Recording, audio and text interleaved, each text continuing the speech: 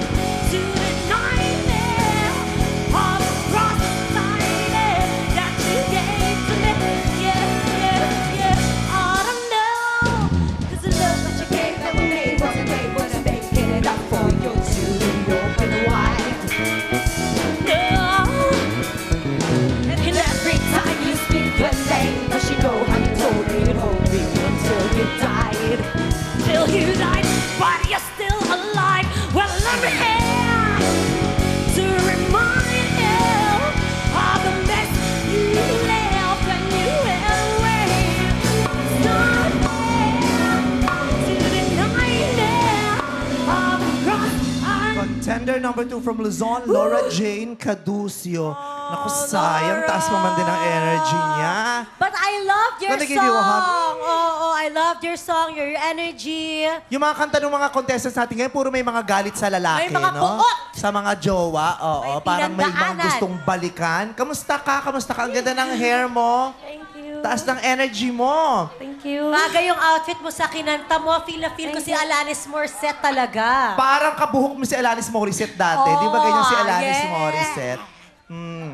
Taga Baguio ka. Saan sa Yes. Baguio? Um, sa Navy Base, malapit sa Botanical Garden. Oh, pero originally taga Maynila ka. Yes. Saan sa Maynila Cubao. naman? Oh, ba't ka nag-Baguio? Ayaw mo na sa pollution, maraming pollution sa Mainit? Maynila, mas Nal- fresh sa Baguio. Hindi ganun. naman. Nandun na si Hubby.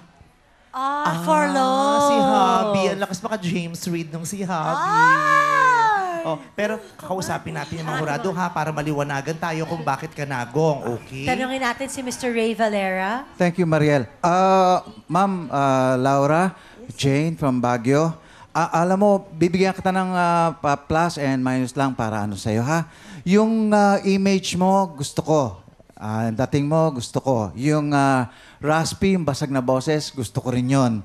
At I would like to tell you, ah, honestly, na ipinasa ko sa mga kasama kong ah, hurado yung ah, desisyon para gong or hindi. Mainly because mas familiar sila dun sa song na yon kesa sa akin. Honestly. Ah, mas alam ko yung mga kanta ng panahon ko eh. Okay? Itong pag may mga kantang mga bago, pinapasok kay Nyoy or kay Yeng or kay Karil. Totoo Ay, yun. bakit kay Queen Mother hindi niyo po pinapasa? Hindi. Ang pinasa kay Carla, yung mga gastusin ng mga contestants. Oo. Basta merong ah, babayaran ako no, kay Ma'am Carla yun. Kay Carla Okay. pinapasa. Sa'yo. Napansin mo, madalang na akong pumunta. Oo nga eh. Naubos na yung kaba ng bayan ko. At tinanong ko kaagad sila, why? Anong ano? ah, why, why?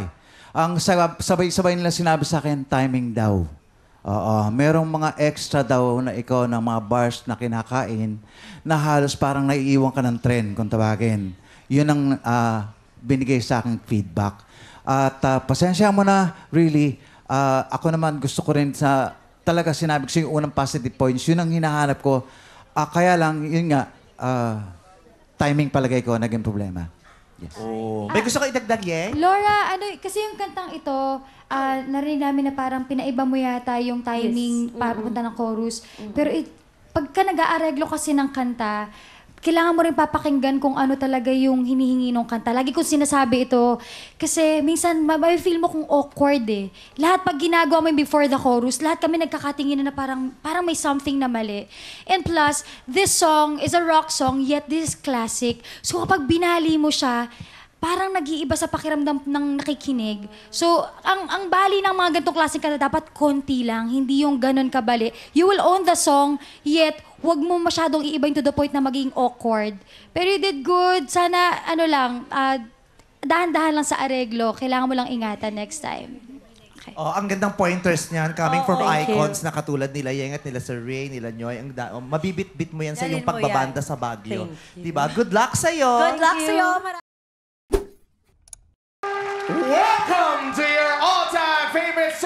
for outstanding amateur talent.